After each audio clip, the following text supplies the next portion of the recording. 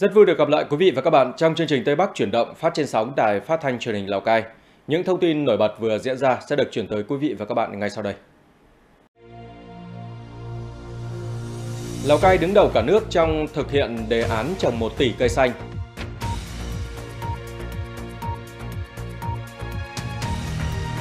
Vị Xuyên, Hà Giang thu hoạch ớt chỉ thiên.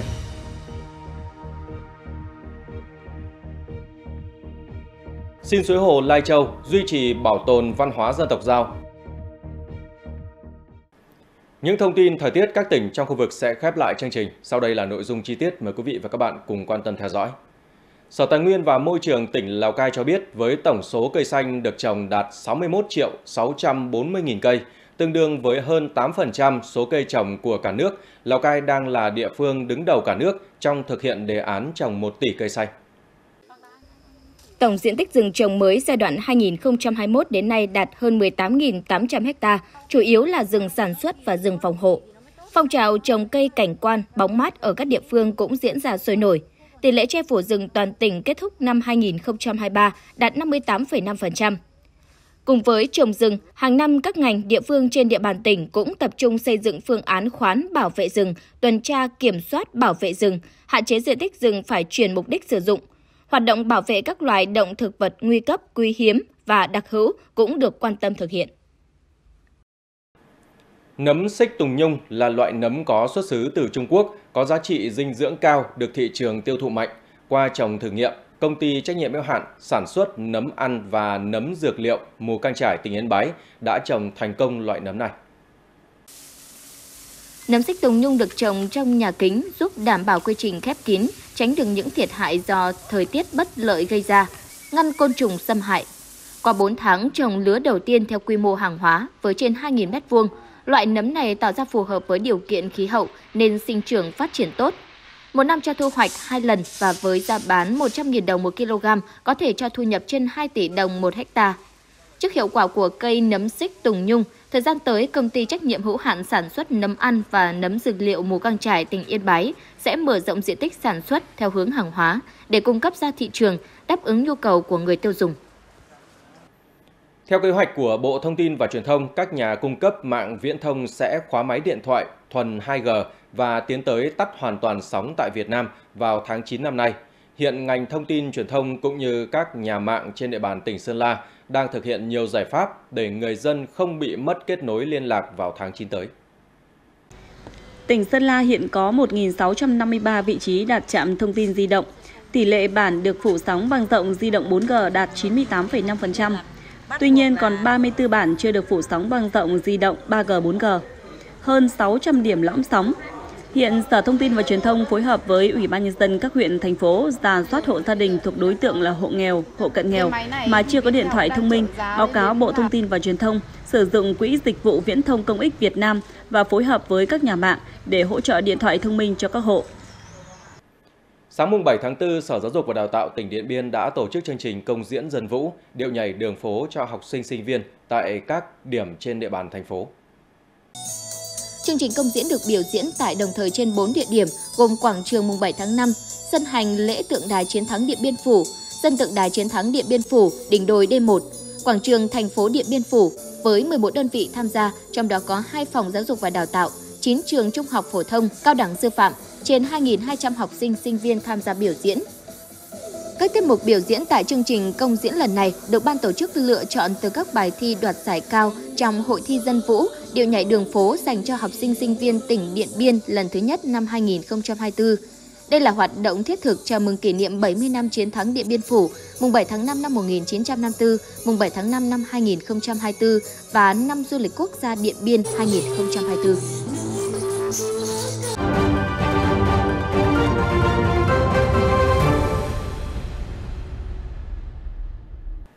Thưa quý vị và các bạn, thực hiện chủ trương chuyển đổi cơ cấu cây trồng gắn với tái cơ cấu ngành nông nghiệp, huyện Vị Xuyên, tỉnh Hà Giang đang chủ động thực hiện liên kết với các doanh nghiệp để phát triển các cây trồng hàng hóa có giá trị cao, trong đó có cây ớt chỉ thiên. Vụ đông xuân 2023-2024, huyện Vị Xuyên liên kết với công ty trách nhiệm hữu hạn xuất nhập khẩu nông sản T9 thủ đô Hà Nội. Công ty Thuận Gia Thành tỉnh Tuyên Quang tiến hành gieo trồng 36 ha tại 9 xã trên địa bàn. Đặc biệt, công ty có chính sách hỗ trợ trả chậm cho nhân dân vay 50% giá giống, phủ ni lông và phân bón đến khi thu quả. Hướng dẫn kỹ thuật từ khâu làm đất, cung ứng giống, cách chăm sóc đến thu hái và ký hợp đồng bao tiêu sản phẩm. Sau gần 5 tháng gieo trồng đến thời điểm này, cây ớt đã được thu hoạch. Năm nay thì cũng là năm đầu tiên chúng tôi đưa cây ớt vào ờ, trồng. Thì đến thời điểm này thì ờ, tôi ờ, đã thu hoạch được hai vụ ớt thì cũng cho năng suất là cao hơn Ờ, cao hơn là trồng ngô trong một vụ ngô thì là đến bây giờ thì cái cây ớt thì chúng tôi vẫn còn được à, hái hai ba lứa nữa. Theo nhận định của bà con nhân dân thì ờ, cây ớt đưa vào xã Trung Thành thì khá là hợp thời tiết cũng như thổ nhưỡng ờ, khí hậu và đất của Trung Thành. Vì vậy cho nên là trong quá trình chăm sóc cây ớt thì bà con nhân dân à, nhận thấy là có hiệu quả hơn so với các cây trồng màu ngắn ngày khác. Cây ớt chỉ thiên đòi hỏi kỹ thuật cao hơn với các cây trồng như ngô, lạc, đậu tương, nhất là khâu chăm sóc. Tuy nhiên cây ớt lại có tính ưu việt hơn. Mỗi vụ trồng có thể thu hoạch được 5 lứa, kéo dài trong vòng 4 tháng. Giá công ty thu mua tại ruộng là từ 13 đến 17 000 đồng một kg. Dự kiến sản lượng đạt 20 tấn một hecta. Dự kiến trong cái thời gian thu hoạch là kéo dài đến hết tháng 5 năm 2024 thì à, đến lúc đó cũng đã sẽ có cái tổ chức đánh giá cũng như là mở rộng quy mô sản xuất liên kết để nâng cao thu nhập cho bà con nhân dân. Việc đưa cây ớt vào gieo trồng sẽ là hướng đi mới nhằm tạo ra sản phẩm nông nghiệp có chất lượng cao, dần thay đổi thói quen canh tác của người dân từ nhỏ lẻ sang gieo trồng tập trung quy mô lớn, đưa các sản phẩm nông sản của địa phương trở thành hàng hóa.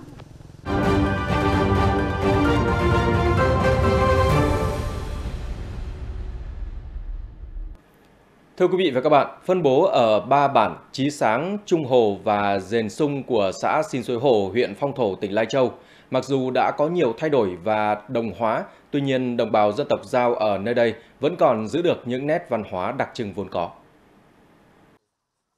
Mỗi dòng họ người Giao ở Xin Suối Hồ thường có một bộ nhạc cụ truyền thống để khi trong bản có việc cưới hay việc tang đều sử dụng đến. Bộ nhạc cụ truyền thống của người Giao thường gồm kèn, trống, chiêng, thanh la, trong đó kèn là nhạc cụ chính. Trong bộ nhạc cụ của người Giao, kèn là nhạc cụ khó học nhất – để có tiếng kèn trong trẻo vang xa thì người thợ làm kèn phải tỉ mẩn và lựa thân kèn bằng gỗ nghiến hoặc gỗ lim, trên bé dưới to, có độ dài khoảng 30 cm, bên trong đục rỗng, bên ngoài được chia làm 7 đốt. Mỗi đốt dùi một lỗ tương ứng với các nốt nhạc. À, kèn là mình cũng thổi được rồi nhưng mà thổi được à, lâu rồi, mười mấy năm rồi, hai mươi năm rồi đấy. Mình cũng thích truyền cho trẻ con thôi, nhưng mình không mà không cho mất cái truyền thống này đâu người Giao chiếm khoảng 30% dân số ở Xin Suối Hồ. Bên cạnh di sản văn hóa như những bộ trang phục bắt mắt với đường thêu cầu kỳ cùng trang sức bằng bạc được chế tác tỉ mỉ, văn hóa Giao còn ghi dấu ấn với những phò sách cổ được các thế hệ gìn giữ, lưu truyền bao lâu nay. Phò sách cổ của người Giao ra đời từ khá sớm, rất nhiều phò sách cổ có niên đại đến cả trăm năm. Ngôn ngữ họ dùng được gọi là chữ nôm Giao. Chữ được người Giao sáng tạo dựa trên nền tảng gốc là chữ Hán nhằm ghi chép những phong tục tập quán, thờ cúng của ông cha. Người Giao gọi sách cổ này là sâu, còn có nghĩa là thư, sách. Sách cổ được lưu truyền qua nhiều thế hệ trong mỗi gia tộc, ngày nay thường là người trưởng bản, trưởng tộc có nhiệm vụ giữ gìn những phó sách này. Chúng tôi cũng đang theo truyền thống là ờ, các cháu ờ, con cháu mong các cháu là cũng phải tìm hiểu theo những cái này. Thì uh, truyền lại cho nay mai. Thì đời này sang đời khác thì uh, từ trước đến nay thì mấy vạn năm rồi. Việc gìn giữ và phát triển các nét văn hóa của đồng bào dân tộc Giao ở xã Xin Suối Hồ, huyện Phong Thổ, bên cạnh ý thức của người dân thì cũng rất cần sự vào cuộc quan tâm của chính quyền địa phương, các cấp, các ngành. Có như vậy, các nét đẹp trong văn hóa sinh hoạt của cộng đồng người Giao mới được bảo tồn, tránh bị mai một theo thời gian.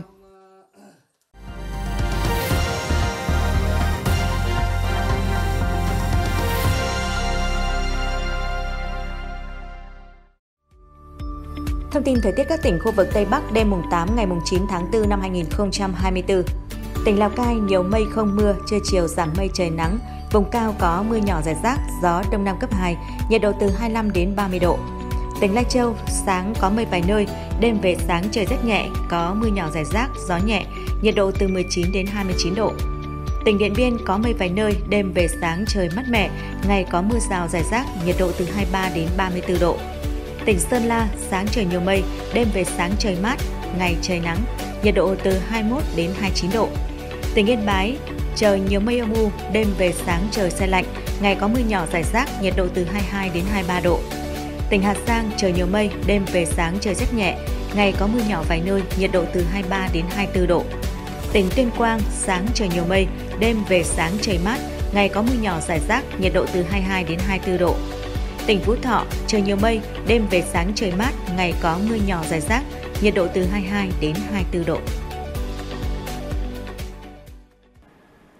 Chương trình Tây Bắc chuyển động của Đài Phát thanh Truyền hình Lào Cai xin được kết thúc tại đây. Cảm ơn quý vị và các bạn đã quan tâm theo dõi. Xin kính chào tạm biệt.